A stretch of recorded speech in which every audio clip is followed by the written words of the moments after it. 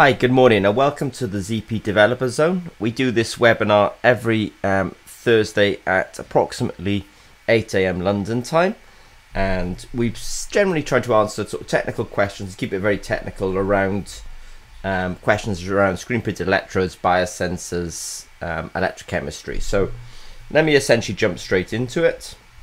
I will. Um, we've uh, so let me just jump straight into it. Yeah. So I put this slide up every week. We do have the ZP Academy, and we have a lot of registrations on there. We do have um, two free courses available. I just want to say hi, good morning to Aftab, who's online, and you, you'd be there. Uh, so we have the ZP Academy, and we do have this at least this webinar um, once a week, and um, we also have a vlog on Sundays at 8 a.m. London time. We do have collaborations. I've just had an email in this morning um, asking for a PhD to come in from India and do an intern with us. So I've I have responded to that. Um, we do offer jobs through this academy, and we obviously have the web um, the website as well. And in the website, there's a forum, and we generally go through the forum looking for questions that are interesting, and then we answer them here. So last week, um, oh, and by the way, we also do have workshops as well. Now, a lot of these workshops at the moment are um, online, but we have done one just a couple of weeks ago. I think it was really well um, received. We did a workshop um, with an e-conference in India, and there we did quite a few um, demonstrations, and I think you know it generally was well received. So thank you to those organisers. Um, as I say, we have a ZP Developer Zone website where there's a forum for Q and A's, and um, we'd actually missed a question, and so it was really thanks to um, Technando who had actually highlighted look, there's a question that um, has actually come in from India again, um, and they want to know about immunosensors.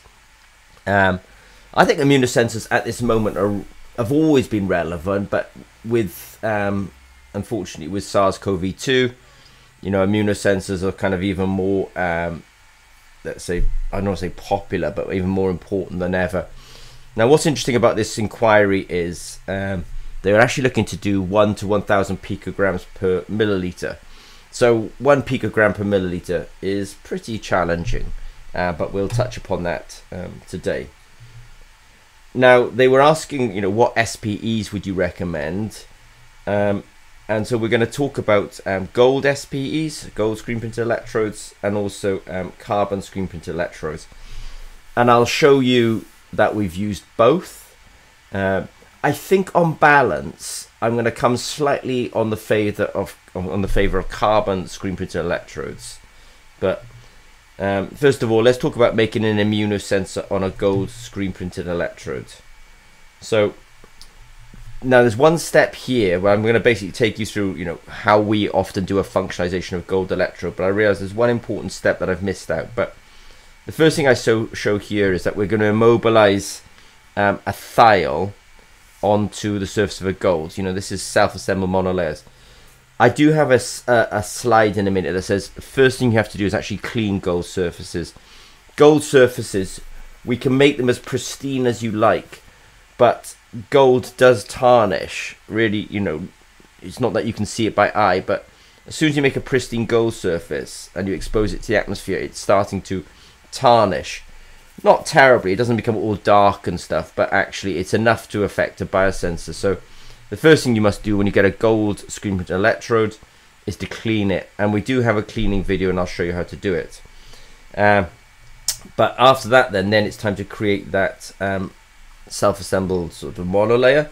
So here we put um, some MCH on the surface of it the next thing that we want to do is we want to activate it to couple it. So we do um, an EDC NHS um, coupling. This is really you know fairly standard and quite straightforward. So we activate the carboxylic acid group, and then we can um, incubate it with the antibodies so that the antibody then um, tethers um, to the surface. Now what we don't want to do is um, we don't want to have non-specific binding. So what we do is we block the surface then often with um, BSA, bovine serum albumin. So this is a kind of protocol that you know we follow fairly routinely at ZP, and um, the good thing about it, um, it you know it, it's worked for us quite successfully. Now, the sensor testing process for us is that we will take that now antibody activated um, biosensor, we will incubate it with the protein. I just want to say hi to uh, Nydia. Nice to see you this morning, Nydia. Um, so we we um, incubate the biosensor with the um, with the antigen or the virus or the bacteria, and so we get that specific binding.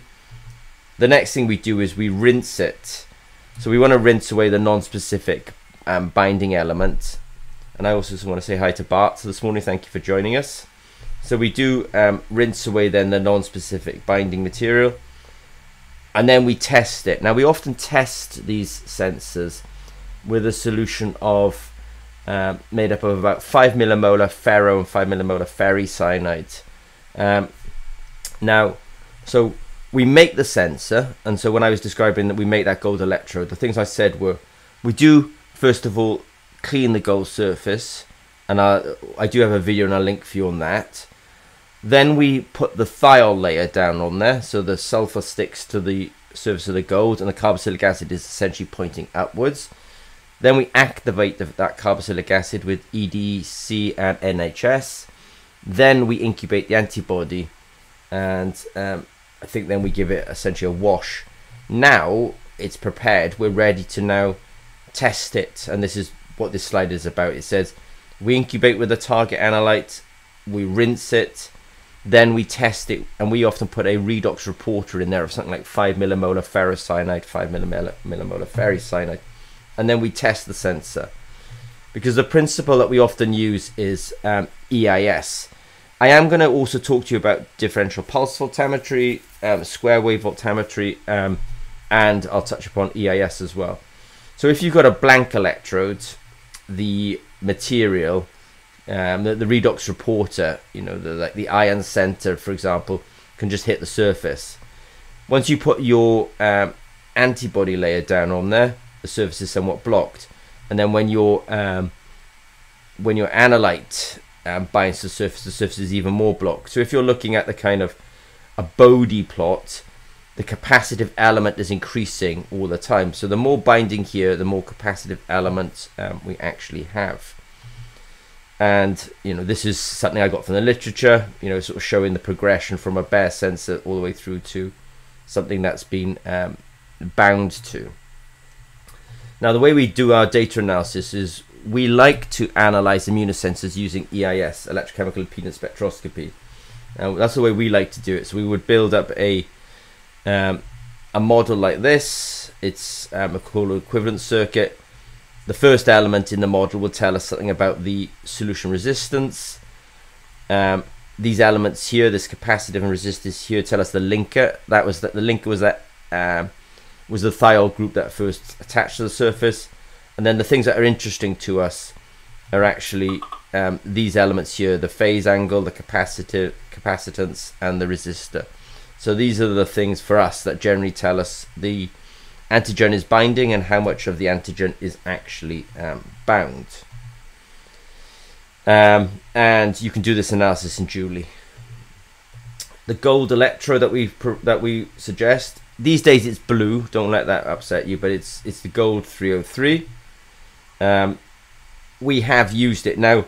I'm um, Nydia. I'm not ignoring the fact that actually you want to do one picogram to 1000 picograms per milliliter. So that is challenging. I'm not going to, I can't sit here and deny that. Now, we um, are generally, you know, well, not generally. In this application, we've tested from 5 nanograms to 75 nanograms per milliliter.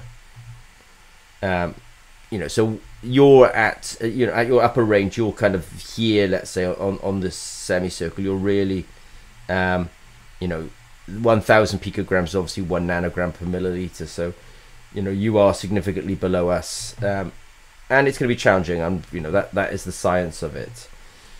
Um, what do you need? Um, you'll need, I think, um, you'll need if you do the EIS route, you'll need an Anapot EIS, um, electrochemical impedance spectroscopy spectrometer. There's a link for it there.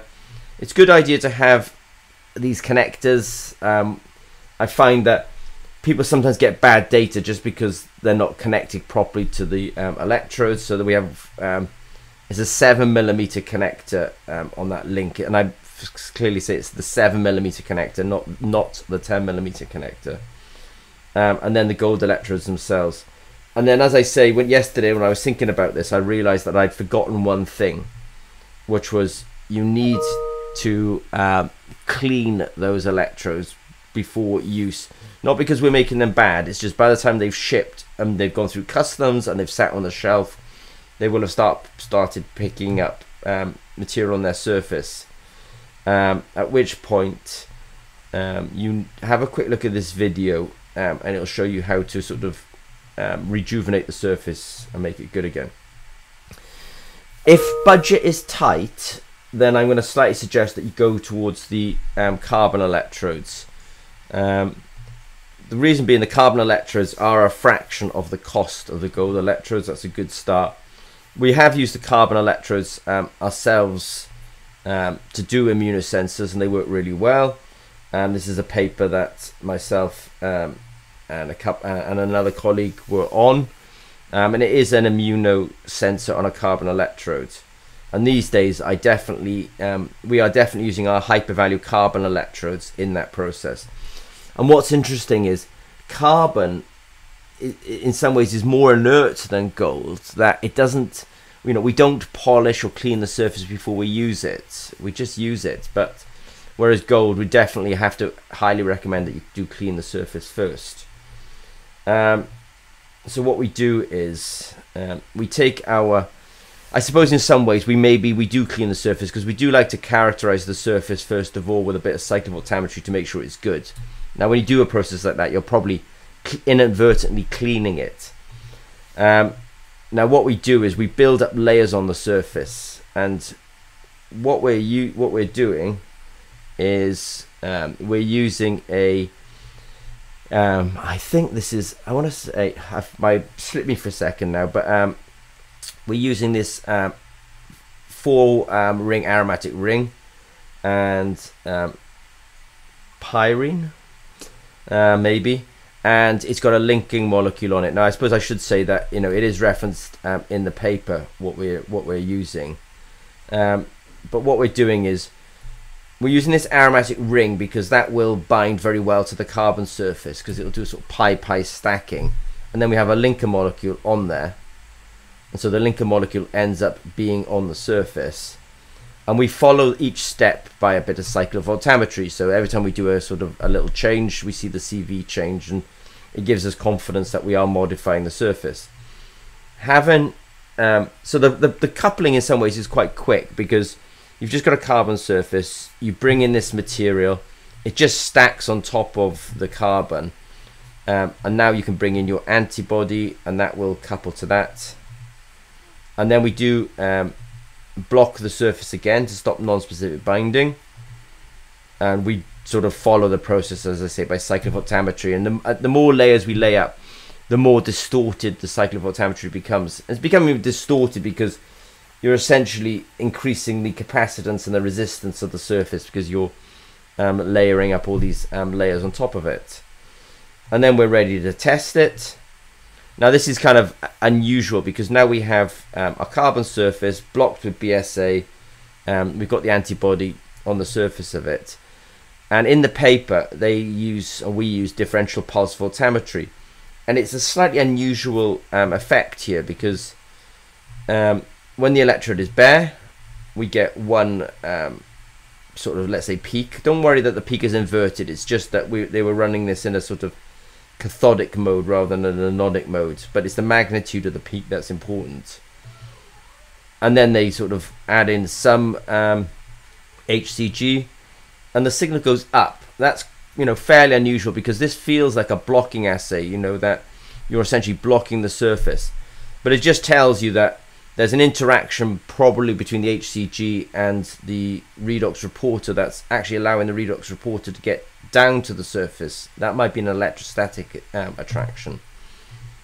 And then they add in some more, and the signal essentially increases accordingly. So it's a good idea, maybe in some ways, before you start on like say your target, it's probably a good idea just, just to follow a standard paper and make sure that you've kind of, you know, you can follow that, or maybe even get a student to do it because I know it's a bit it's a bit achy to sort of have to just repeat somebody else's paper, but if you're new to it, maybe um, it's not a bad idea. Let's say, um, and that's the original, like say, you know, work. So I, you know, so it, it was unusual that the higher the um, concentration, the greater the signal, which would have been un- which is unusual for me because actually it was a blocking assay, and that was done by differential pulse voltammetry. So let me make some comments. Um, when we're functionalizing these electrodes, we often follow it by a cycle of voltammetry. It's nice and quick, just see that things are changing. But if we're analyzing it, then I used to like square wave voltammetry. I used to like differential pulse voltammetry. And these days, I quite like EIS, electrochemical impedance spectroscopy. Um, um, you know, it, it's just because it always, not always, but it, it works. What, what EIS does is it ends up giving you um, a lot of features in your data. And so if there's lots of features, you can find that feature in your data that's best correlated with the analyte of interest. Um, and that's why we kind of like EIS. In order to repeat that paper, uh, if you don't go the EIS route, there's a lower cost route. Then you don't have to have, um, you can have what's called an Anapot rather than an Anapot EIS, and I'll put a link in for that. Again, you need the 7mm connector, and you do need um, hypervalue carbon electrodes it feels like a lower cost route, and the reason being is um, these things are the car these carbon electrodes are a fraction of the cost of the gold electrodes. Um, now, when we're functionalizing this, the, when we're doing this kind of work, it's probably worth saying that you know, well, when we're functionalizing testing, we might start off with something like 60 electrodes. We might test them, make sure they're all good. Um, then we'll put on this pyrene NHS linker. So earlier I couldn't remember the name of that aromatic ring and it was a pyrene NHS linker. So we put that on there and we leave it at 4 degrees for 4 hours. Then we test, just make sure that things have um, sort of stuck to the surface. Then we put on the antibody and we leave that at 4 degrees for 4, whoops, leave that for 4 degrees for 4 hours. Um, then we rinse it and now we start um, actually adding the antigens and testing them add some more antigens and test it add some more antigens and test it add some more antigens and test it. I mean when we go into a piece of work like that we do at least 60 experiments. And um, you know just kind of know this is not a small effort to make an immunosensor but i'm sure you know that. Um, it takes us now we're very industrialized on this. So this data is not perfect but it's not bad either but we're very industrially set up, and that generally takes us about 111 hours to do that kind of work. Um, so just be warned. Um, I'm very proud of our electrodes. We do something that's very unusual. We do do wafer mapping. So all the gold electrodes that I'm recommending, we will have gone to the batch of electrodes and test them by cyclic voltammetry and made sure they were good. And it's the same for the carbon electrodes. And I genuinely think we're the only company that's really doing this when we're analyzing everything uploading our data to Djuli so we can analyze it and making sure that the electrodes are actually good before they um, ship. Um, just to talk about some practicalities of functionalizing it, how do we functionalize these electrodes? So we sort of take these gold or these carbon electrodes and we don't swamp it. Everyone sort of puts a big blob of their material onto the surface like that. That would be a sort of drop of like 30 microliters, you know, that would sort of swamp everything what we end up doing is putting tiny little something like one microliter drops along here and we actually do this by hand by the way. So no excuses. We can do this by hand. And our guys but of course you know they're in there day out day in day out doing this but that's what they do. They um, they put it on by hand if they're doing small scale and then those drops sort of coalesce and form um, the little rectangle like that. We also have robots which really makes it much easier but i'm not suggesting everyone's got a robot um, to do this kind of um, work.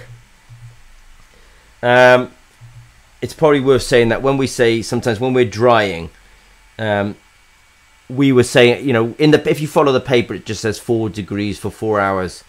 You know if we really want to get repeatability, we're actually controlling the you know the pressure above the sensors as well. So um, I think sometimes universities really want to get repeatability, but repeatability really comes from being a an ISO 13485 company that's really set up for that. I think universities should give themselves the challenge of proof of principle um, you know, in principle, does this work? Do I have enough evidence this is working? But trying to make a manufacturing process in a lab is not easy. So you have to control conditions like the pressure above the sensor. Um, when we're doing this kind of work, we're doing it in quite high volume. And what I mean by that is we're testing, you know, things like 12 sensors at a time. You know, so we really have it industrialized. You know, and these days we've now moved it into clean room facilities as well. So we're testing in, you know, personal protection equipment. You know, to make sure that we're protecting the biosensors from ourselves. You know, bits of dust, bits of hair, all that kind of stuff is you know very much taken care of. So this is the way we work in our labs to make sure that we get reproducible biosensors. So I think I'm getting close to the end here. Oh, yeah, and in fact, I am getting close to the end. So I think I've just talked for 20 minutes non-stop, so I apologize for that. So, Nydia, thank you for the question. I think my recommendation is um, gold and carbon will both work for you. If you go the gold route, there is I will put a, vid, a link under the video where you have to actually clean the gold just before you use it. The gold is more expensive. I think it's more finicky. I think the carbon is lower cost and the route is more straightforward. The biggest concern I have for your work is that one picogram per milliliter. That is challenging. And if you want to future proof your work, then I would get an Anapot EIS because then you have square wave voltammetry, differential pulse voltammetry, cyclovoltammetry, and you have EIS if you don't have the budget, then just go for the Anapot, but you won't have the um, EIS capability, and you'll have to always kind of play in the um, voltammetry, um, let's say, space. I want to say again, thanks to um, Technando. They were really good. They were very diligent. They were watching the, the forum. They noticed that I, I, I missed the question last week, so my apologies um, and thank you to them. Yeah, so that's it. Um, I'm going to go downstairs, grab a cup of coffee, um, and get on with some meetings. But thank you, Bart and Aftab and Nydia for um, staying with us today. And um, if you've got any questions, Nydia, reach out to Aftab and we'll hopefully be able to help you. Okay, take care, guys, and thank you very much. Cheers.